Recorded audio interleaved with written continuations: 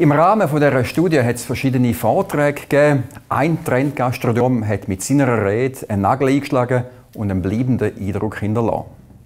Was hat Sie persönlich am meisten fasziniert? Was ist für Sie ganz persönlich am spannendsten gewesen? Der Michel Peckler. Einfach die Art und Weise, wie er erzählt hat, wie er auch den Mut hat, Sachen durchzubrechen und den Mut hat, äh, Sachen neu anzugehen. Und so sehr viel Positives ausstrahlt. Das Referat von Michel Becklar hat mir extrem Eindruck gemacht. Oder? Eigentlich so der Fokus auf wirklich ganz konsequent etwas umsetzen, äh, dranbleiben, hartnäckig bleiben, das ist das, was wirklich gepasst hat. Betriebsgewinn minus 5,4 Prozent.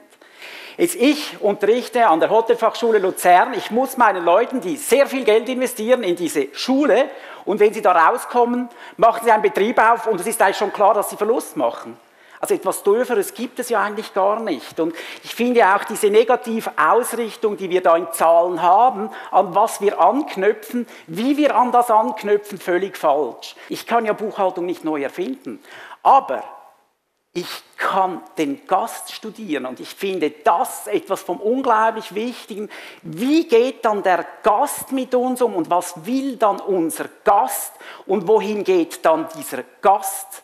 Wir hatten ein Telefon letzten November, äh, nein, letzten August äh, von einer Familie, äh, Hotel Tschucken, äh, ob wir diesen Alpenblick übernehmen würden. Für mich eine Spielwiese, mega cool, oder endlich mal etwas in den Bergen. Ich habe sowieso das Gefühl, in diesen Bergen, was wollen diese Gäste, oder? Sie haben gesagt, Sie ein Fünf-Stern-Hotel, Sie haben diesen Alpenblick gekauft, Sie können das nicht, auch absolut okay. Wir sollen da irgendetwas Gestörtes machen und so richtig verrückt. Jetzt nochmals, wenn wir überlegen, was will ich dann in diesen Bergen? Was will unser Gast, nicht ich? Wohin geht er? So gehen Deutsche, Ausländer, Wieso geht man nach Arosa? Wo sind dann die Begründungen, oder? Man will Bauer sehen, man will dorthin gehen, wo ein Feuer brennt, man will, wieso stehen Kühe, Gänse, all das Zeug, oder? Wir sind ein Land von Kühen. Und wenn der Chinese die Kühe sehen will, dann soll er sie doch sehen. Wir haben einen Grill aufgestellt und auf die Speisekarte geschrieben, hey, Sie müssen selbst grillieren. Jetzt sagen Sie das mal einem Küchenchef. Stimmt eigentlich, geht doch nicht, unmöglich. Und das kommt so gut an, diese Gäste kommen und finden das mega, dass sie selbst grillieren können. Also ich könnte sogar für die Wurst wahrscheinlich mehr verlangen, wie wenn sie grilliert ist, nur dass sie sie selbst machen können. Diese, diese, diese Problematik, wo man einfach davon ausgeht, Warenaufwand 33 Prozent, Personal so und so weiter. Ich glaube, diese Zeit ist auch ein bisschen vorbei. Ich glaube, man muss Welten bringen. Und dann habe ich gesagt, gut, ich würde gerne in mein Restaurant dort oben irgendwie 200 äh, Hühner haben, weil 200, 100 werden vom Fuchs gefressen, dann haben wir noch 100, oder? Also, das, das war dann so die Überlegung grundsätzlich. Und dann kamen die Bauern, und das ist ja das Verrückte, oder? Kamen die ba das kannst du nicht machen. Das geht nicht. Entschuldigung, ich kann doch jetzt einfach da Hühner herumrennen lassen, ein bisschen Körner und am Morgen kann ich mit den Kindern die Eier holen. Eigentlich das, was vorher erzählt wurde. Jetzt sagt aber der Bauer, nein, wieso? Was, was ist die Begründung? Er sagt, wenn irgendein Gast, und jetzt, das finde ich ja so faszinierend, wenn irgendein Gast dem Huhn ein Pommes frites gibt, dann wird das zutraulich. Ja, und jetzt? Ja, aber das Huhn ist nachher am Bein. Mega! Ich meine, haben Sie schon mal ein Huhn am Bein gehabt? Noch nie. Würden Sie es fotografieren? Sicher. Wäre es auf jedem Facebook. 100 Millionen. Pro ja, aber das geht noch weiter. Dieses Huhn wird auf den Tisch fliegen. Noch mega, oder? Hey, viele von Ihnen haben Restaurants, die sind bedient, die haben eben diese Personalkosten, diese Warenkosten, diese Betriebskosten. Und ich studiere mir massivst, was machen dann andere. Sie haben sich sicher auch schon mal überlegt, wieso Wieso reklamiert ein Gast, wenn bei Ihnen ein Menü, das fünf oder sechs Gänge hat, 80 Stutz kostet, wieso reklamiert er?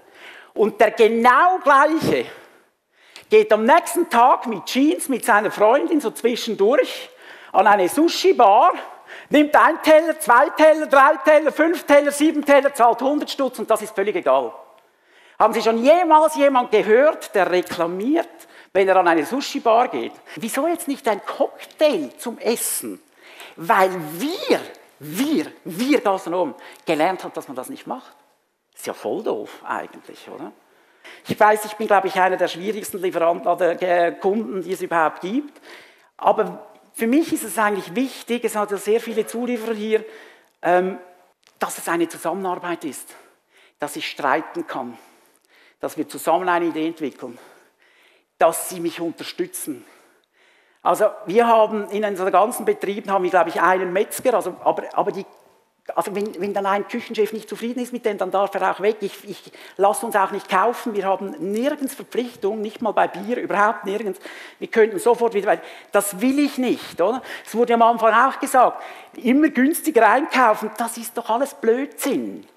Weil das merkt der Gast. Also wir schauen eigentlich immer, dass wenn wir günstige Betriebe haben, dass wir teuer, dass wir einfach das beste Produkt haben. Wir haben unseren eigenen Fischer, wir zahlen dem 25 Kilo auf das Kilo Fällchenfilet. Bianchi würde mir dasselbe vom Genfersee für 15 Franken geben.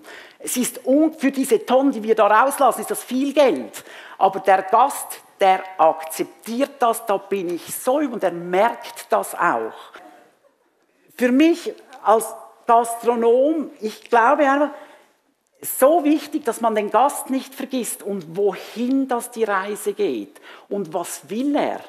Ja, ich gebe seit 20 Jahren Schule in Luzern und ja, man muss ja auch ein bisschen etwas aufmischen, oder? Also ich mich regt das ja dann total auf, wenn ich eben jetzt in den Verwaltungsrat komme von Engelberg Dietlis mit den verschiedenen Grosslieferanten zu tun habe, die zum Teil da sind und einfach finde, hey, nehmen mal den Finger raus und machen mal etwas Neues, weil, ja, weil man kann nicht immer klagen. Also der Herr Angern ist vorher gekommen und gesagt, weißt, du bist eigentlich einer der Einzigen, der nicht immer nur klagt, sondern sagt, komm, wir machen etwas, oder? Und das ist halt so ein bisschen, ja, mein Lebensmotto auch.